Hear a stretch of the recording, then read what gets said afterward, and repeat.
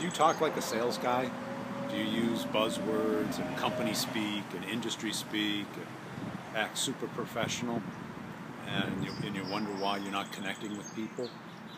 People today, especially younger people, you know, people under 30, they want somebody who's sincere, who's real, who talks to them like a colleague, not like a customer. Where you listen to them and you, and you speak to them at their own level. If you come across as Mr. Professional, you know, Mr. Uptight, Mr. you know, or infomercial guy, pressure, pressure, pressure, talking real fast, real excited. Look how excited I am. You should be as excited as I am. And you know what? They're not excited. You know, think about like Tony Robbins. Here's a guy who's the perfect infomercial guy. Love the guy, super enthusiastic, super passionate about what he does.